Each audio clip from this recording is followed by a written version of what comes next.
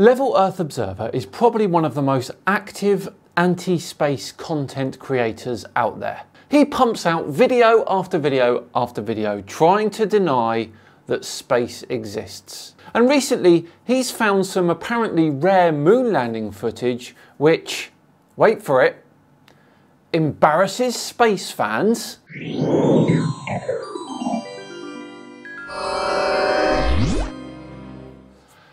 Welcome along to another episode of Tinfoil Tuesday with me, SciManDan. Thank you very much for joining me. Before we begin with today's video, a massive thank you to the sponsors Type AI. Powered by the ChatGPT API, Type AI is a keyboard extension app that works seamlessly on any platform or app on your phone. With Type AI, you no longer have to worry about typos, grammar mistakes, or finding the right words to express yourself. You can chat with AI on your keyboard, check grammar and spelling, translate in real time, generate automatic replies to any message, make AI complete your texts, or you can paraphrase or change the actual tone of the text too. And with Type AI Premium, you can get unlimited use. Now, I've been using Type AI for a couple of weeks now, and it's honestly brilliant. There are a couple of features that I love. The email writer, for example, is just the best. All I have to do is tell the app what my email is about and pick the style I want to write it in,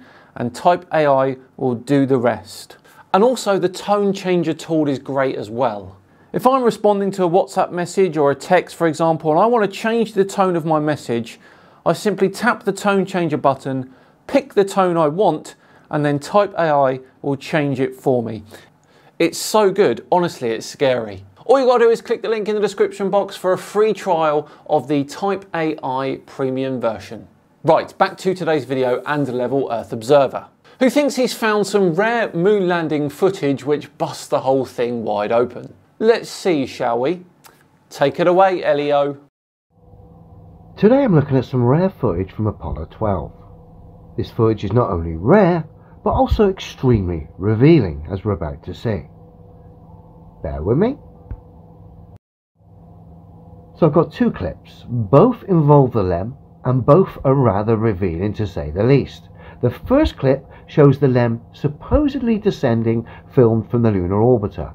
Okay, so it looks like we've got some footage here from Apollo 12, I believe. This was launched on the 14th of November 1969, just four months after Apollo 11 landed on the moon. And I've got to say, it all looks fine so far.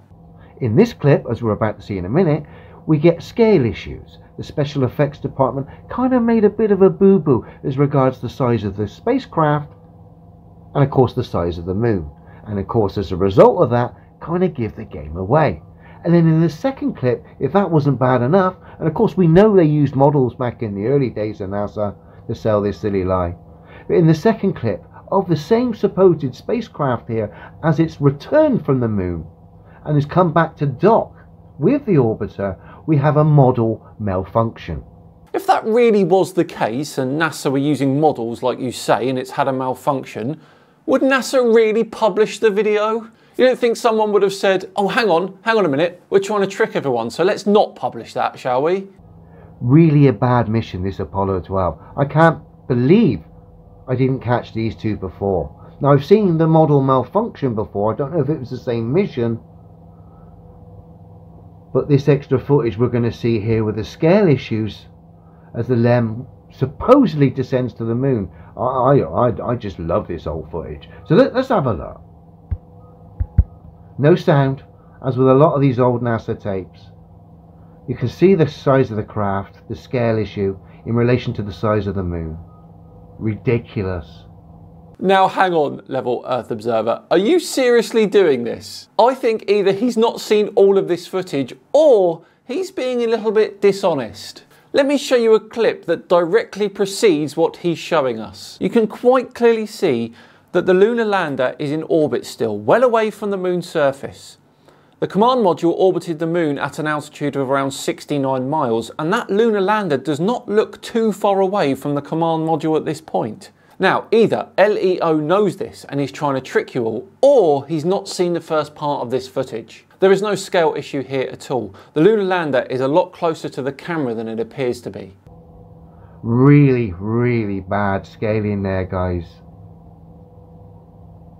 Like I said, we know they use models. Been caught out many times.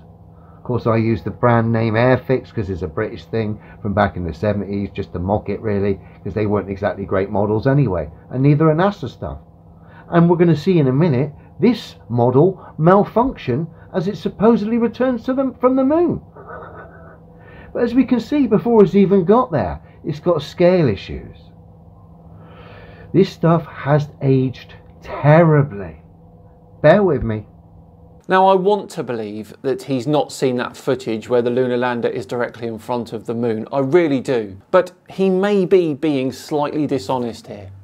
Let's see this model malfunction, shall we?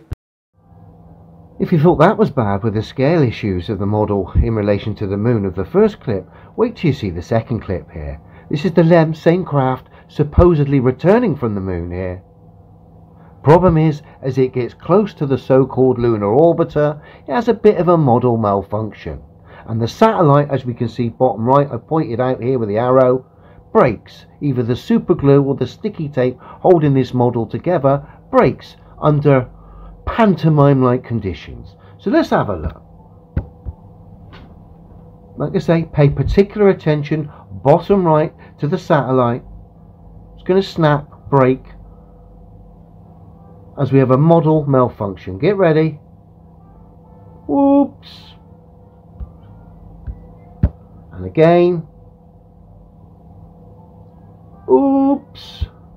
Now that is a steerable S-band dish which can be controlled by the astronauts inside the LEM. That one's used to communicate with Earth. Now at that exact point, the astronauts freed it from its fixed position, which is why you see it oscillate like that. Now this particular dish was a bit of a pain in the bum for NASA, because during Apollo 16, it became stuck and they couldn't move it at all.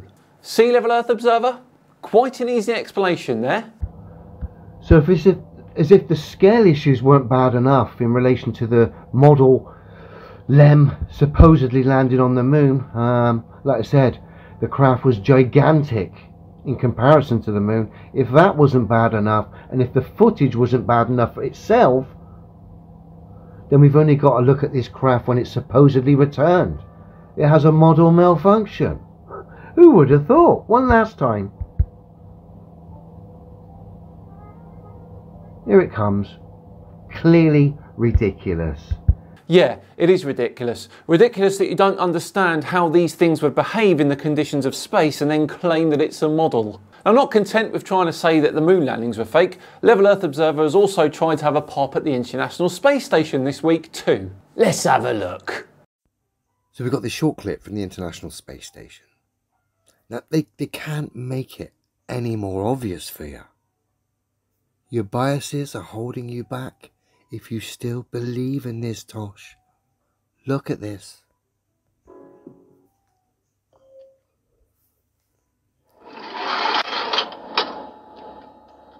Hello, and welcome to the toilet of the International Space Station. Let's say you're up here on ISS and you need to go to the restroom. You want to come to this cabin, and the first thing you want to do is just look at how that hose behaves when she's holding it. There's no way that this is on Earth. Grab this piece of equipment and turn this rotary switch 90 degrees to the open position. What that does is it turns on a fan, which creates a suction effect in this hose, so that you can use this yellow element for your number one. Now, that sounds wonderful, my dear. You highlighting this incredible technology on your space station. The problem is here, you requiring a suction device for your number one poses a bit of a problem. Where is he going with this? For all he has. Because if you require a suction device for your number one to go down the tube, and you're in this weightless environment, how are you digesting any kind of food? Level Earth Observer has well and truly messed this one up. What a ridiculous statement to make. Let's let him elaborate a bit before we put him straight. What suction device are you using for your body to align itself and have its vector with its food go downwards if you haven't got a suction machine and yet you're highlighting that in this environment that you're supposedly in, for things to go down, you require a suction machine.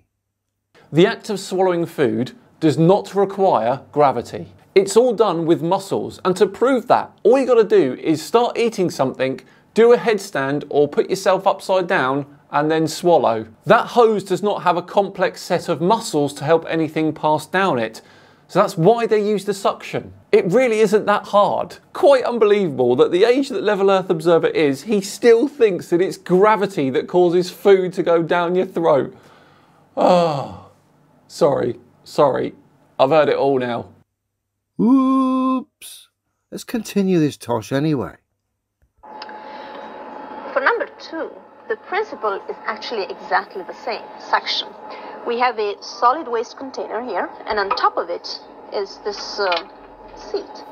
Uh, and the solid waste container is connected via this hose to the same fan so that, again, the same suction effect allows you to do your number two in weightlessness. I want to show you how it looks, but since we don't want any bad smells uh, to come out, we're to actually turn on the fan. It's to be a little bit loud. Here we go.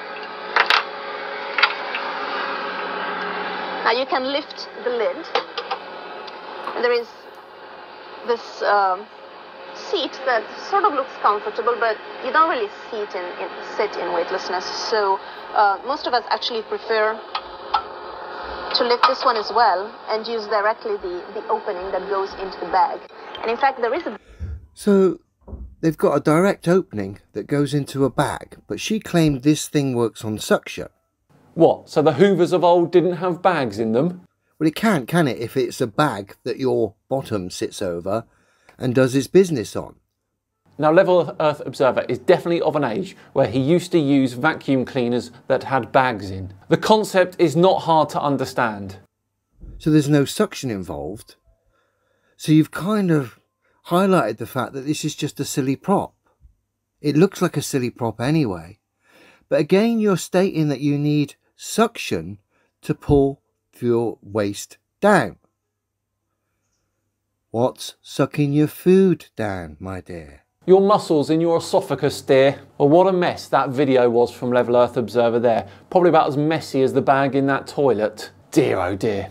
Well, that wraps up another Tinfoil Tuesday, and what a Tinfoil Tuesday that one was today. Total, total failure from Level Earth Observer there. Let me know what you think on his performance in the comments. Thanks so much for watching today. It is, of course, as usual, truly appreciated. If you enjoyed it, please do consider subscribing to the channel and, of course, hitting that thumbs up button too. Just enough time to once again thank Type AI for sponsoring today's video. Remember, all you got to do is click my link in the description to get a free trial of the Type AI Premium version. I've been SciManDan. Have yourselves a great day, and I'll see you tomorrow for the next Debunking Flat Earth Memes video.